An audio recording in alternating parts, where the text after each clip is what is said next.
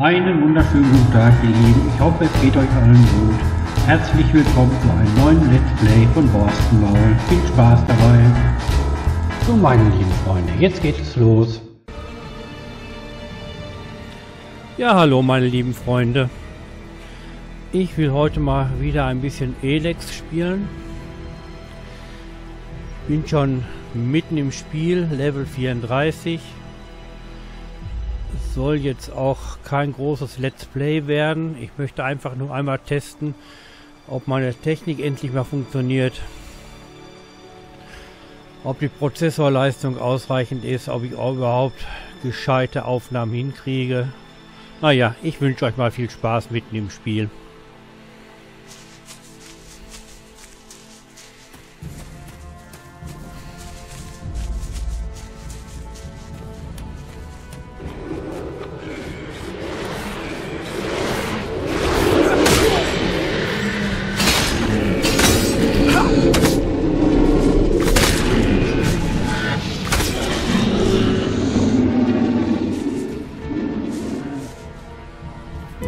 War schon mal gar nicht so schlecht.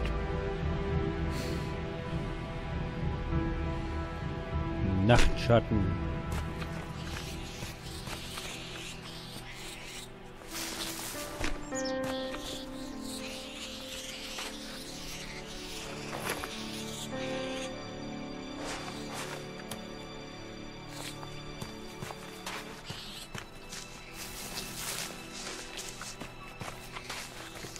Also ich habe im Moment den Eindruck, als wenn immer mehr starke Gegner kommen.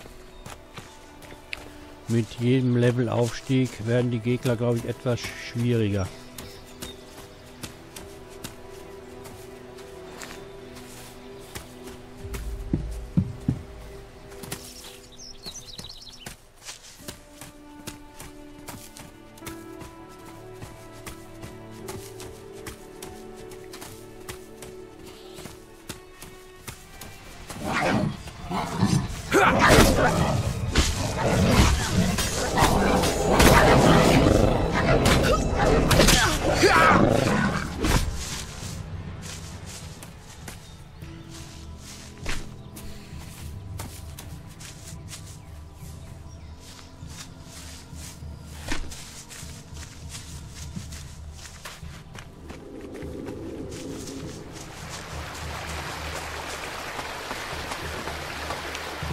Gebäude habe ich vorhin schon mal geplündert. Da gibt es nicht mehr viel zu holen.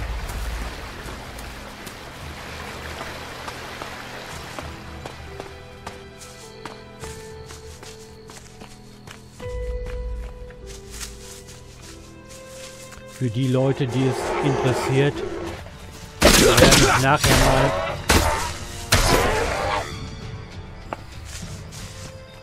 äh, die Daten sagen, wie ich das eingestellt habe.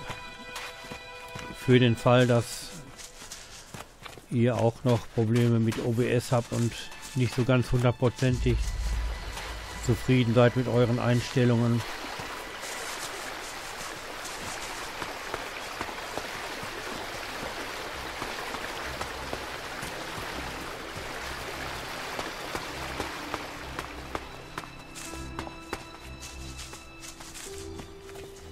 Erstmal ein bisschen im Kreis gelaufen.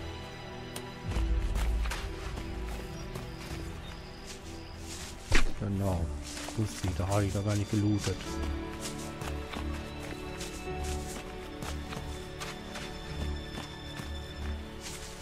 Das Schöne an Elex ist ja, dass es hier an jeder Ecke irgendwas zum Looten gibt.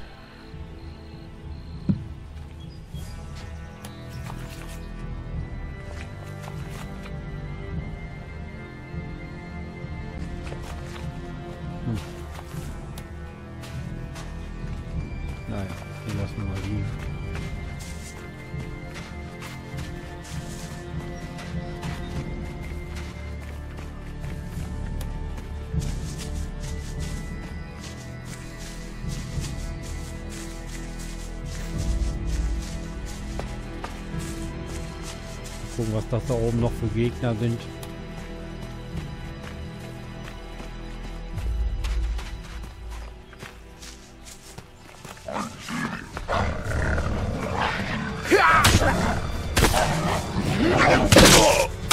Ich habe den Autofokus, im Moment ausgeschaltet, weil ganz zu Anfang ist das halt etwas leichter, vor allen Dingen wenn man viel weglaufen muss.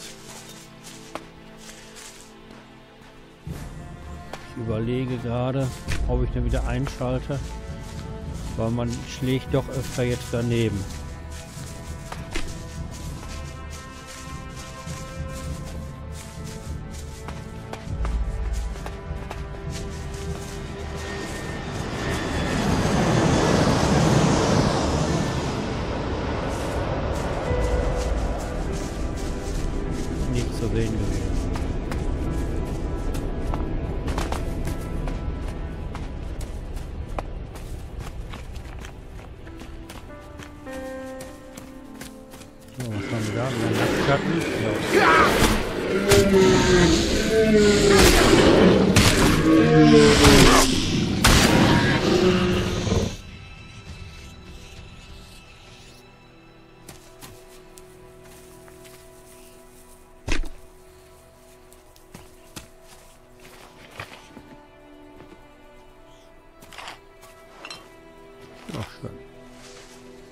Kann man immer brauchen.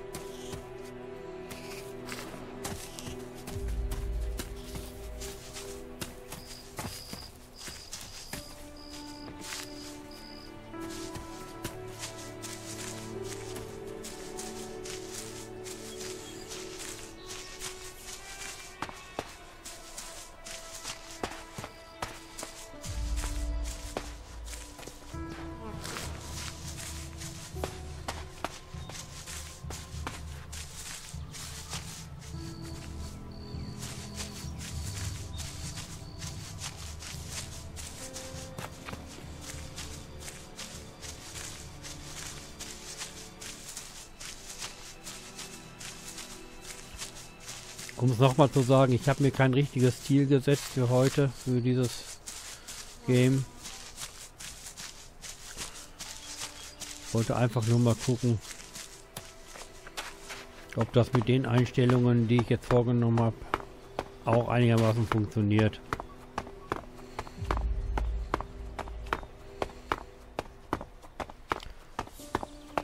Bin immer noch am überlegen, ob ich mir nicht doch noch einen stärkeren Rechner hole.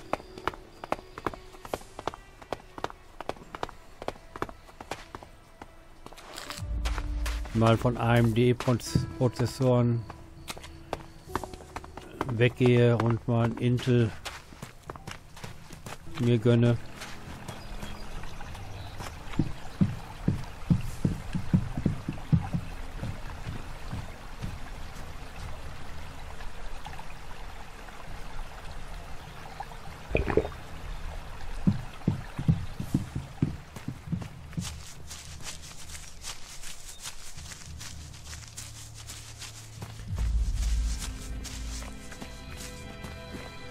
Ein bisschen was zu erzählen. Also Elex suchte ich im Moment eigentlich. Aber ich habe, wie mit vielen anderen Spielen, das Problem, das ist mein persönliches Problem, dass ich mich immer vor der Hauptstory drücke, um das Spiel einfach so lange wie möglich zu genießen.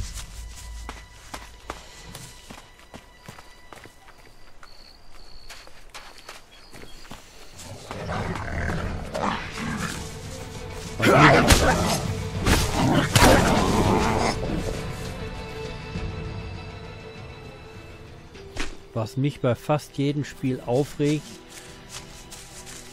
ist ganz einfach das, dass man hochgeskillt ist bis zum geht nicht mehr und dann eigentlich für alles bereit ist. Aber im Grunde genommen das Spiel dann zu Ende ist. Man macht noch die Hauptstory fertig, haut den Big Boss um oder wie auch immer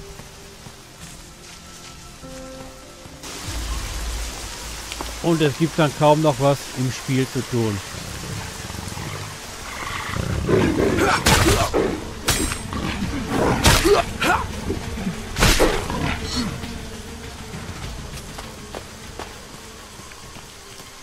Und wie man weiß, ist es ja so, dass es bei Elex keine Erweiterungen gibt, keine Add-ons gibt.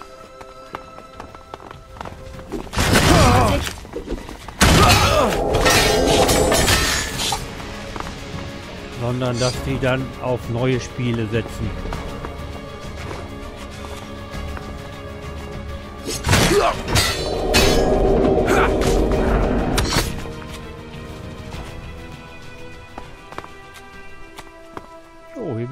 Gewesen. Sieht auch interessant aus, ja.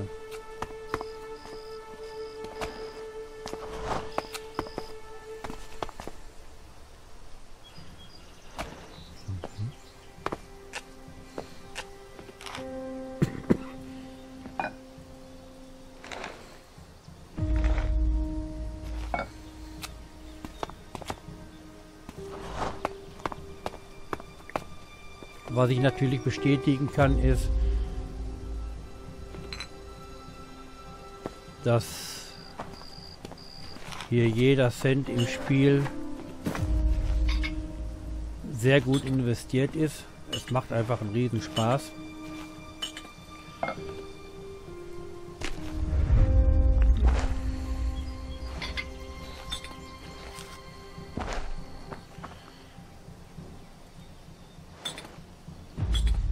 für mich persönlich mit eines der besten Spiele, was ich je gespielt habe.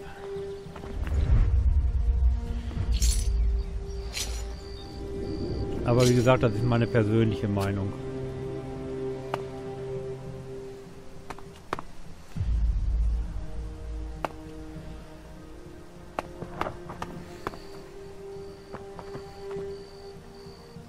Und das mal so mit Fallout vergleicht, was man eigentlich nicht kann, aber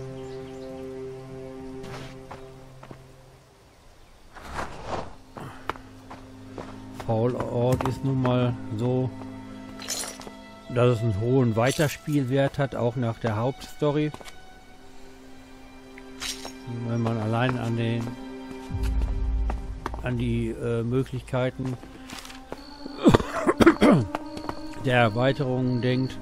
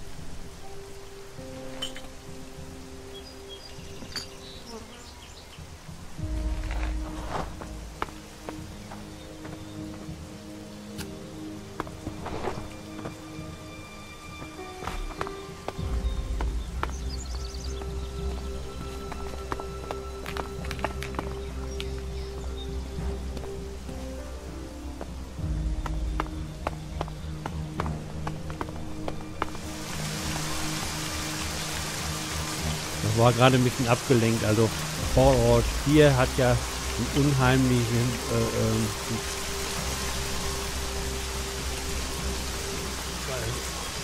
äh, Möglichkeit äh, äh, weiter zu spielen. Und hier bei Elex ist es einfach dann, dann vorbei. Es, es, es, man kann natürlich wieder von vorne anfangen, andere Schwierigkeitsstufe. Man kann sich einer anderen Fraktion anschließen. Die Möglichkeit hat man ja. Man kann versuchen, jeden Quadratzentimeter akribisch zu durchsuchen, um wirklich alle Geheimnisse zu entlocken. Macht natürlich auch Spaß. Aber dann war es das aber auch.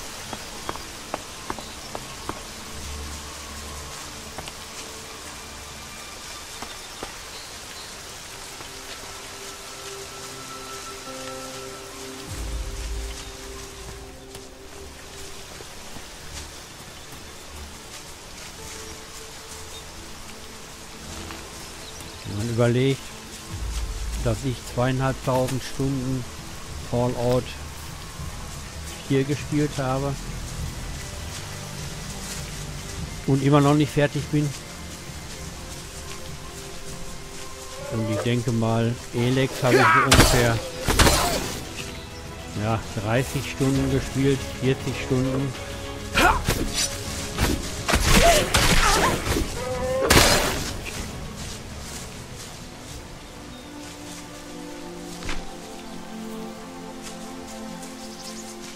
Ist das schon ein Riesenunterschied.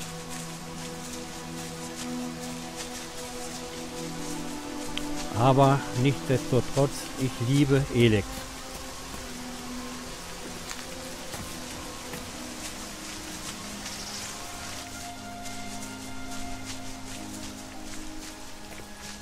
Auch wenn ihr wünschte, vielleicht ein bisschen meint, ich bin ein bisschen muffelig oder sowas. Bin ich eigentlich gar nicht. Ich bin sogar ein sehr lustiger Typ eigentlich.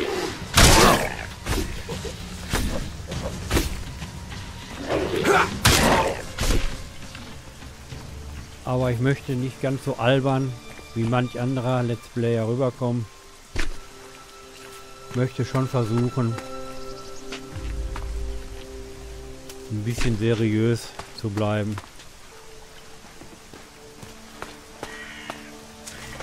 In den anderen Let's Plays habe ich schon mal erzählt, ich kann halt keine Dialekte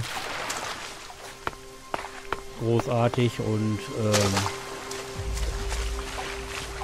meine Stimme verstellen, großartig, ist auch nicht so mein Ding.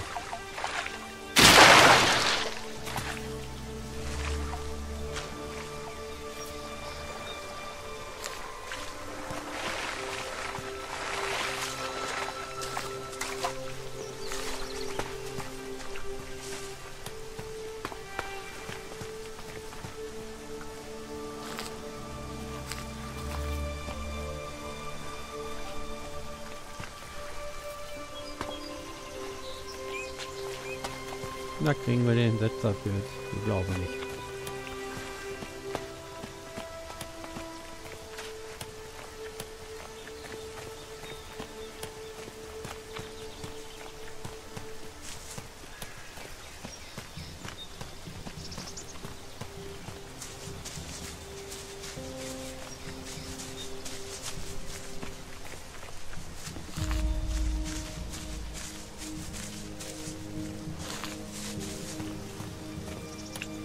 Einfach manchmal der Meinung, dass sich manche Let's Player, auch wenn sie Tausende oder sogar Millionen von Followern haben, ähm, mir persönlich, aber das kann mit meinem Alter zusammenhängen, mir persönlich ein bisschen zu albern sind, ein bisschen zu kindisch.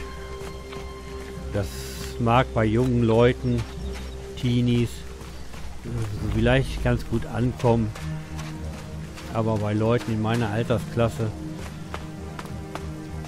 Auslieferungsjahr 1963, da denkt man darüber ein bisschen anders.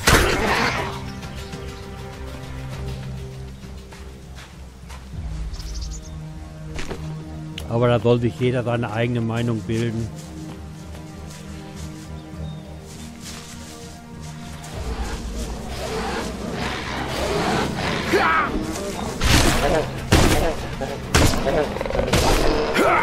Jeder Jack ist anders. Dem einen gefällt das, den einen anderen gefällt das.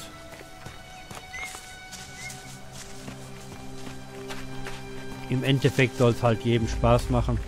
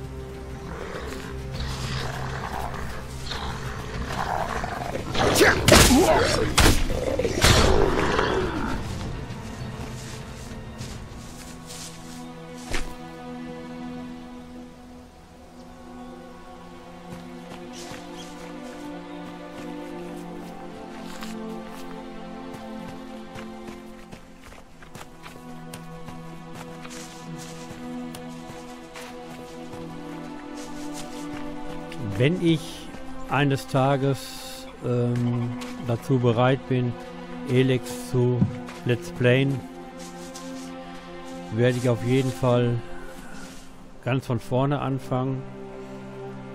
Dann auf schwierigste Stufe. Obwohl, wenn ich mich daran erinnere, wie oft ich schon auf normal gestorben bin und größte Schwierigkeiten hatte, den ersten Gegner platt zu machen.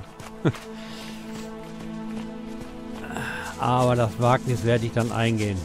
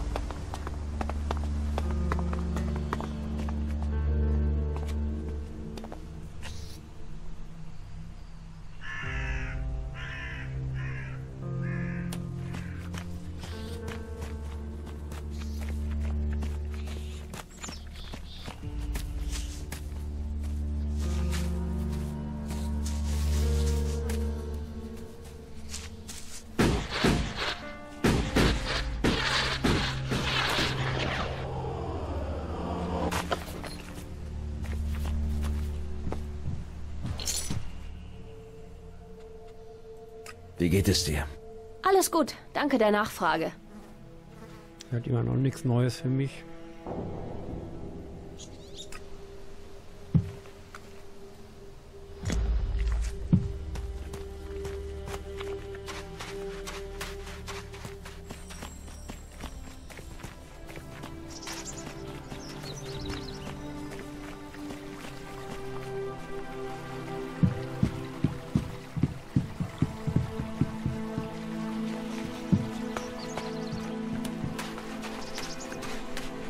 Ja, mit dem Let's Plays ist das auch immer so eine Sache, wo man sich fragen muss,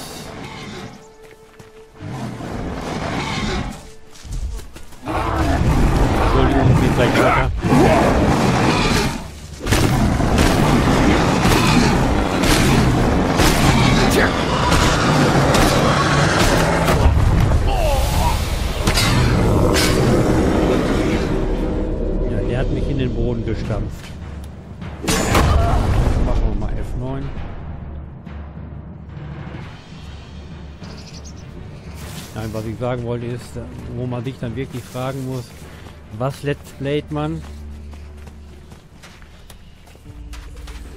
Macht man das, was andere auch machen? Ist das danach Effen?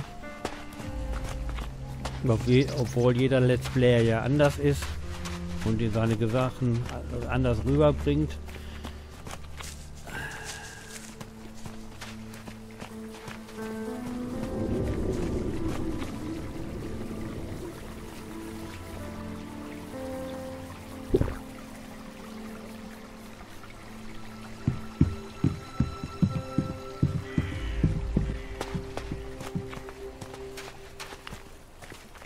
Jetzt ist auch unheimlich schwer, irgendwas zu finden, was noch nicht Let's Played wird.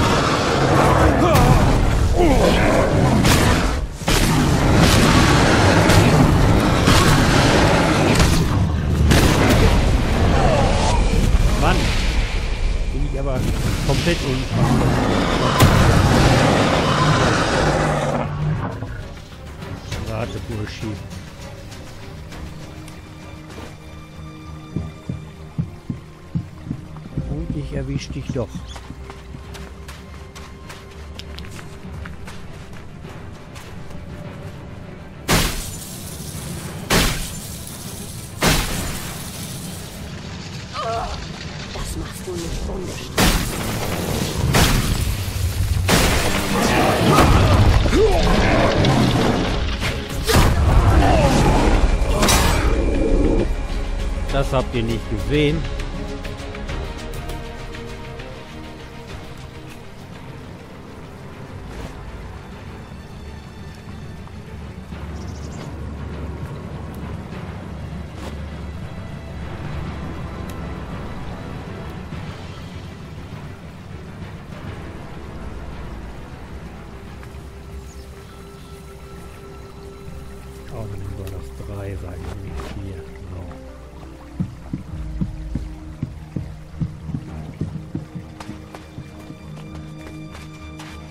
Quatschen und kämpfen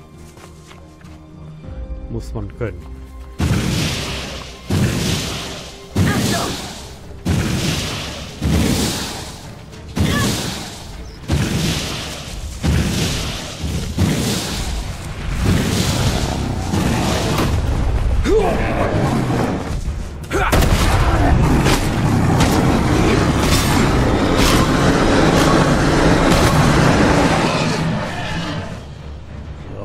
Mein Gott. Wenn ich noch nie einen Bergtroll weggemacht hätte. Fürchterbar. So. Ja, hat sich doch gelohnt.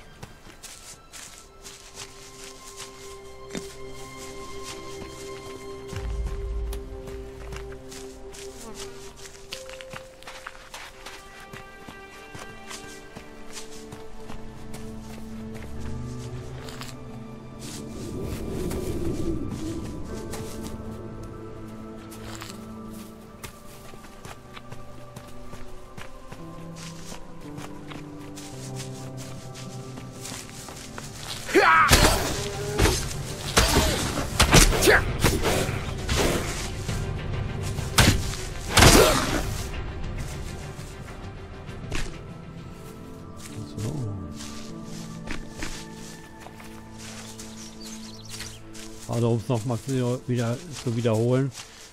Was soll man Let's Playen? Das, was alle anderen auch machen? Oder soll man wirklich so lange suchen, bis man mal irgendetwas findet, was noch nicht Let's Played wird? Was allerdings meiner Ansicht nach äußerst schwierig ist. Denn das machen andere auch.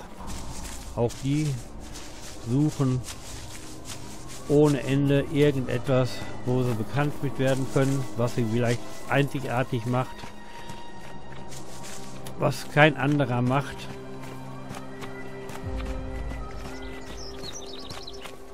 Aber wie gesagt, ich glaube, das ist schon ein ziemliches Ding der Unmöglichkeit.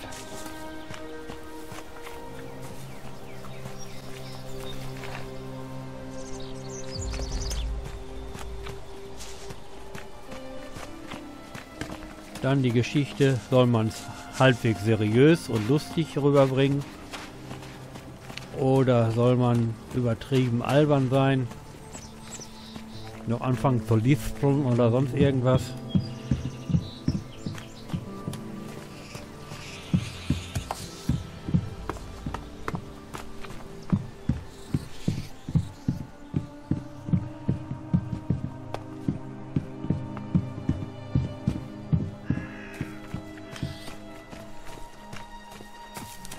Soll man den harten Kerl mimen?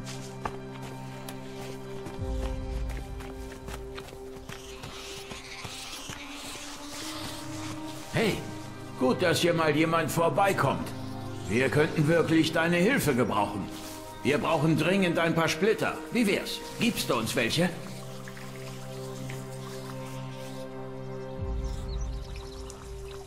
Na klar. Na klar. Ist das alles? Du hast doch mehr dabei, oder? Na, wenn du deine Kohlen nicht rausrücken willst, dann müssen wir sie uns eben holen. Den hau ich um.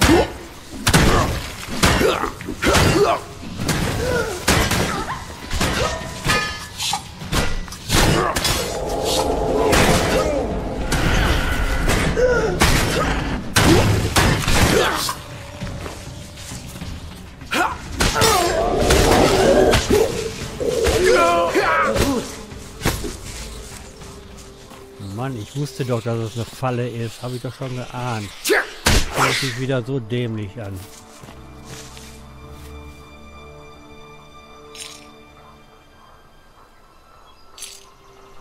Na, kriege ich denn meine 500 Elex zurück?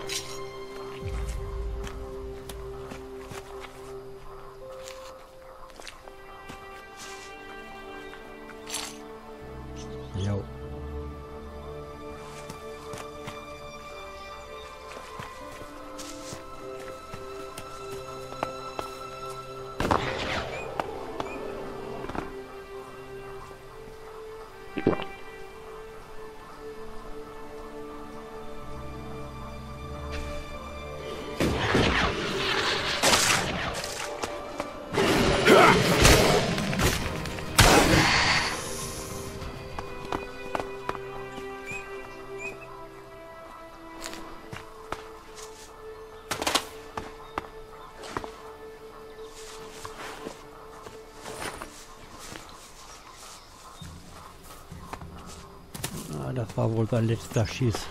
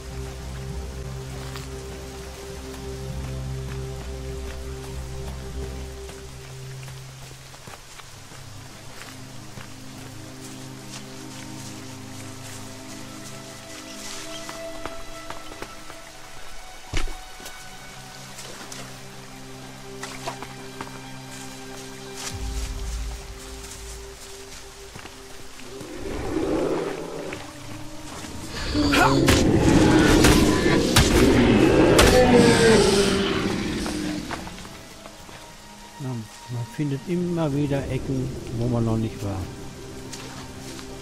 Aber es ist wirklich so, dass man auf jeden Berggipfel, auf jeden Haus, auf jede Erhöhung, in die tiefsten Tiefen, wirklich überall hin muss, um tatsächlich alles zu entdecken.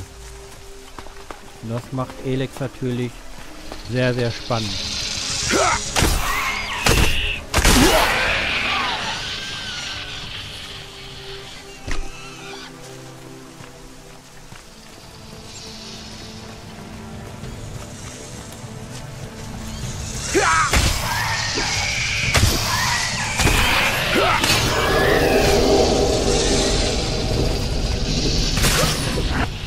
Mach schon wieder Luftschläge.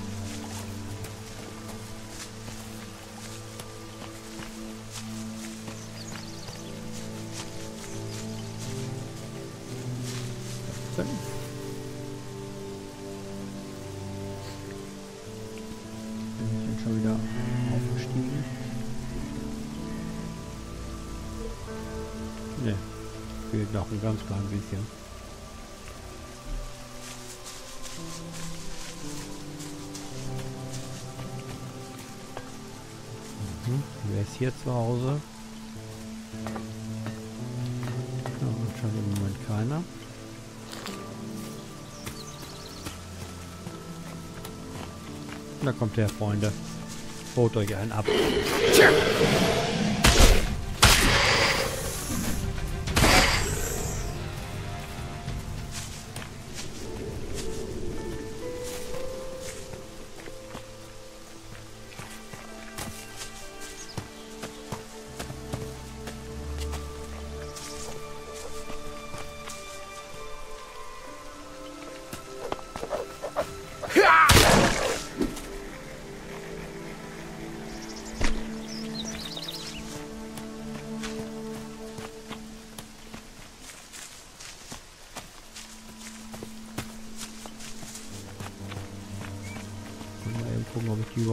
gelootet habe.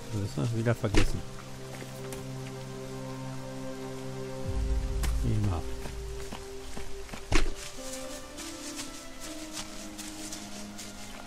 Wieder mit leichter Verzögerung.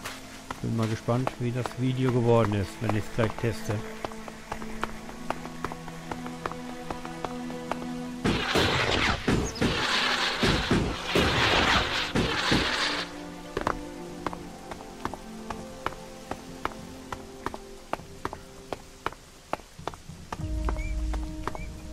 So, an dieser Stelle mache ich dann erstmal Schluss. Bei dem ganzen Mist vergisst man immer schnell, Schönen Dank es fürs Zusehen. Ich wünsche euch alles erdenklich Gute. Bis demnächst wieder. Ciao.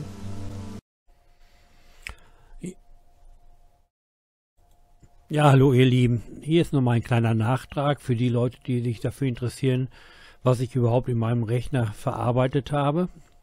Also, ich habe ein AMD Athlon X4 860K. Die Megahertz seht ihr hier, so um die knapp 3000.